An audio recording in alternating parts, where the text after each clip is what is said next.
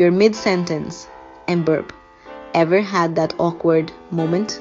But here's the wild part that burp just stopped your stomach from overinflating.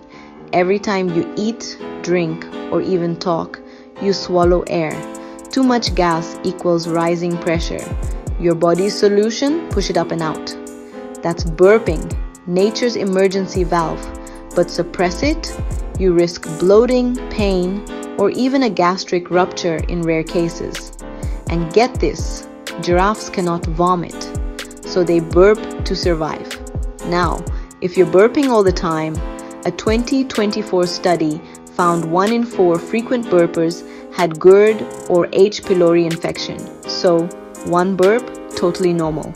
Too many could be a red flag. Next, what happens when trapped gas turns painful? You won't believe where it hides. Smash the like button and subscribe to Cortex Curiosities for weird science that explains you.